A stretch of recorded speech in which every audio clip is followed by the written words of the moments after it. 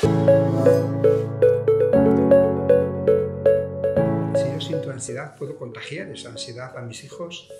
Eh, bueno, la ansiedad en sí misma no, no es una enfermedad eh, transmisible, no es contagiosa. La ansiedad es un estado individual, es un estado emocional que cada uno vive a su modo y manera y maneja con sus únicas propias herramientas. Lo que sí que es cierto es que evidentemente los niños, sobre todo si son niños menores de 8 años, van a darle muchísima importancia a la, vivencia emocional que, ven los padres. Quiero decir con esto que si los niños ven que, que, el papá o la mamá están preocupados, pues los niños se van a sentir preocupados.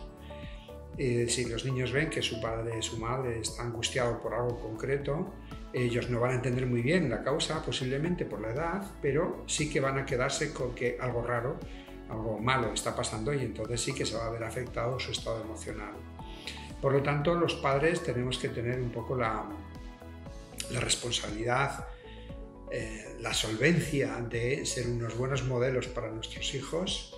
Eh, los niños, ya digo, en esta corta edad ven la realidad del mundo, del universo por los ojos de los padres, interpretan esa realidad en función de la interpretación que hacen los padres y por lo tanto tenemos esa responsabilidad de ser unos buenos modelos tener en cuenta que los niños aprenden eh, en un altísimo porcentaje por observación, lo que llamamos el aprendizaje vicario. ¿no?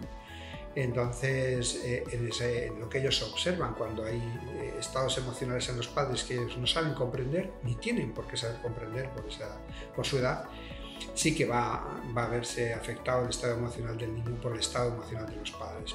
Por lo tanto, aquí yo pido una responsabilidad a los padres que se puedan sentir angustiados, que intenten ese control emocional para no perjudicar, para no alterar el estado emocional de, los niños, de sus hijos. Al contrario, eh, si nosotros somos capaces de dar una información veraz, una información realista, una información donde no estamos exagerando el problema ni estamos eh, generando unos miedos mayores. Se trata de que los niños pues, sean capaces eh, de vivir sin, ansiedad, así que creo que eh, los padres somos los responsables de no transmitirle esto a nuestros hijos.